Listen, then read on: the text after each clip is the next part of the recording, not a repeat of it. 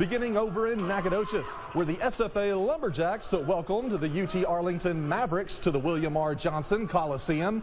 Fans coming out to witness what would be a good performance by the Jacks, who had a 10-point lead at the half, and then going into the second, SFA would turn up the offense. Day-Day Hall getting fed below here. He makes a nice spin move and goes up strong. Hall is fouled and gets the ball to fall for the and one. This gets the team fired up.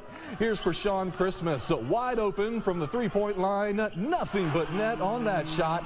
Jacks jumping up to a 20-point lead. UT Arlington would try for a desperation run. Check out UTA's Dewan Gordon, who gets the steal and takes it coast to coast, finishing with the slam.